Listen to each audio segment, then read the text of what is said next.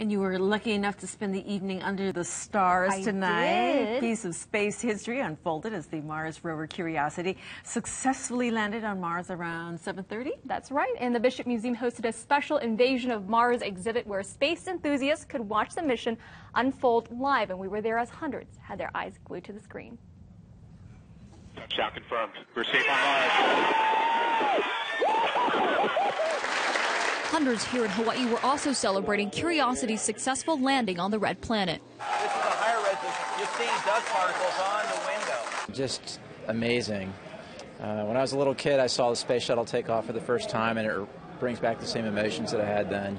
Zero and liftoff. In anticipation of NASA's risky Mars mission, the Bishop Museum invited space enthusiasts to watch the webcast of the $2.5 billion rover landing live. This was by far the most complicated landing on Mars yet. And we realized uh, that we were in the best place in the U.S. to see the landing because it happened at 7:30 our time.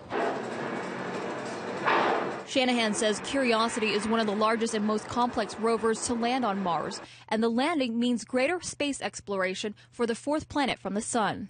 It's got these high-def 3D cameras that we saw the early crude but exciting pictures tonight. But imagine what Mars is going to look like in high-def 3D as this rover really gets rolling in terms of taking pictures.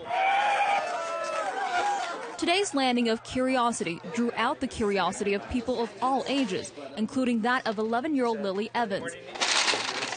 She spent her birthday this evening building a mock space rover and watched a piece of history unfold. I think it's kind of sad that people haven't landed on Mars yet. I, I think in the future we definitely will be able to because we've made it pretty far.